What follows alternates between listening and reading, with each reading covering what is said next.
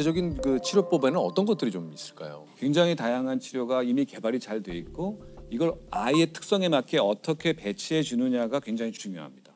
제가 본 사례가 하나 있는데요. 뭡니까? 30개월 정도 아이인데 그 어머니께서도 굉장히 걱정을 하시면서 말을 못 한다는 거에 집중을 많이 하셨어요. 근데 그 아이는 음악이 나오면 그렇게 율동을 좋아하고 그래서 이 동요와 엄마와의 놀이를 같이 해주는 프로그램들이 있는데 거기에 어머니가 좀 참여하면서 아이가 엄마가 자기랑 함께 노는 그 경험들이 쌓여가니까 상호작용이 늘어나는 거예요. 엄마 눈도 많이 쳐다보고 엄마한테 안기고 싶어하고 엄마가 업어주고 안아주는 걸 좋아하고요.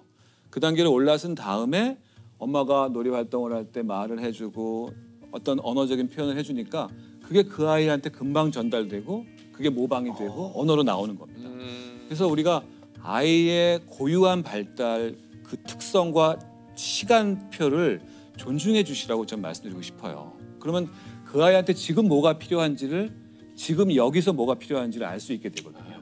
그걸 채워주시면 그 다음 단계로 나갑니다. 네.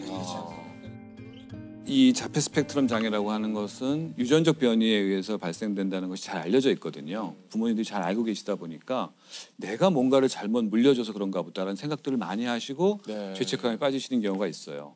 근데 그렇지 않습니다.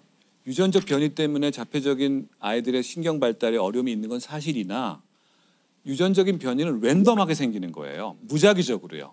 아주 건강한 가족과 부모 사이, 부모 사이에서 태어난 아이도 자폐 스펙트럼이 태어날 수 있어요. 그렇기 때문에 과거를 돌아보지 마시고 현재에 집중하셔서 우리 아이의 발달 문제를 어떻게 해결해 줄까 여기에 집중하시는 걸 저는 정말 당부드리고 싶어요.